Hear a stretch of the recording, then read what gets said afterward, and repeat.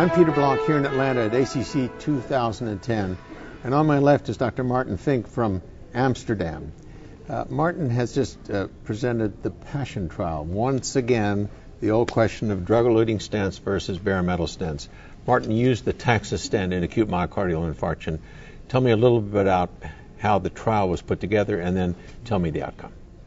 Uh, we uh, totally randomized uh, 619 patients presenting with STEMI uh, within six hours after symptom onset, and we randomized them to receive either a TAXUS stent or a comparable bare metal stent. And we only had clinical follow-up, so no routine angiographic follow-up that could have influenced outcome. Um, at one year, we didn't see a difference uh, in any of the adverse cardiac events. Uh, and this remained after five years. There was no significant difference between the two stents in terms of clinical endpoints. So, drug eluting versus bare metal, no difference at five years. When I looked at the data, there seemed to be some possible signal that there was very late stent thrombosis. Do you agree with that? And if so, is that important or should we not worry about it? Uh, I agree with you. There, uh, there is a trend towards a higher percentage of uh, stent thrombosis throughout the years with, uh, after implantation of drug-eluting stents.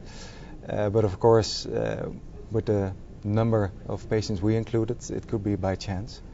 Um, so we cannot con- uh, conclude uh, that there is a higher chance of stent thrombosis. But uh, with yeah with stent thrombosis, uh, it's, al- it's always presenting with either acute myocardial infarction or death.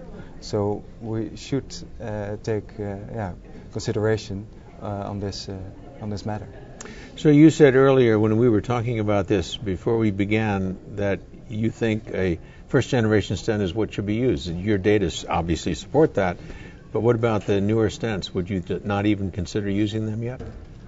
Um, well, it's difficult. Uh, of course, uh, uh, the data on long term are lacking uh, nowadays. But uh, I think, for example, the COMPARE trial, which was published in the Lancet, uh, compared uh, the newer everolimus stent with the paclitaxel eluting stent. And at one year, uh, there were better results in the everolimus stent, uh, including uh, lower percentage of stent thrombosis. And this was an all-comer study. So um, if this accounts for uh, the same for uh, acute myocardial infarction, we don't know. But I think there are certain, yeah, we, there are certain reasons we should use the newer stents, uh, including newer bare metal stents, because they have thinner stent struts, uh, less restenosis rates. So we are improving.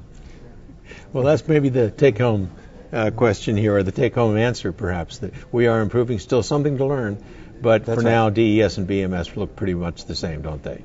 I think they do. Thank you, Martin. Okay, thank you.